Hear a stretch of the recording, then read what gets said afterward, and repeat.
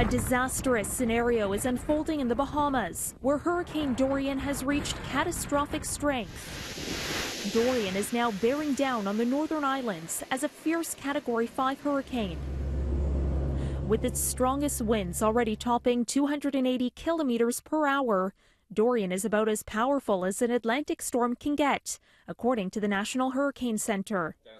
Forecasters say the storm's core of heavy rain and ferocious winds could sit on top of the islands over two or three days. You're talking a, major hurricane over the Bahamas for 30 hours plus, and that's major hurricane winds, that storm surge of 10 and even 20 feet in some of those areas, and then you put the waves on top of that. That's also torrential rainfall.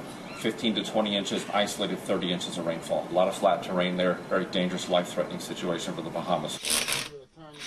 This forecast scenario could unleash a devastating blow to the Bahamas. Even after Dorian unleashes its full fury, residents will have to ride out the storm before first responders can venture outside to rescue anyone. The police will not be coming for you in the middle of a hurricane. You will have to hunker down.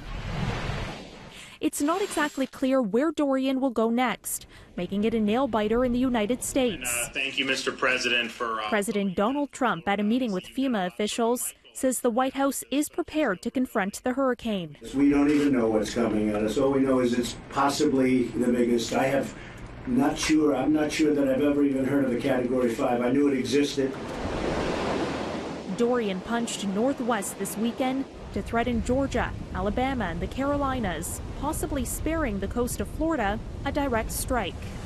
But Dorian continues to menace Floridians, as it's still a dangerous hurricane that could move close enough to do major damage in parts of the state. Trump, whose prized Mar-a-Lago resort in Florida was once directly in the storm's potential path, warned on the dangers of Dorian, urging Americans not to let their guard down.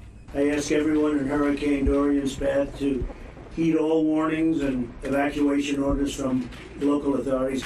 It's been working. It's just been building out there. It's been moving very slowly. It's a bad thing, not a good thing. The Hurricane Center says Dorian made landfall in the Bahamas, tied for the strongest Atlantic hurricane on record with the 1935 Labor Day hurricane. Now, as it moves across the islands, landfall in Florida is still a possibility, as any small change in the official forecast could bring it closer to the coast. Low lying and coastal areas in Palm Beach are now under a mandatory evacuation order that includes Trump's Mar-a-Lago resort.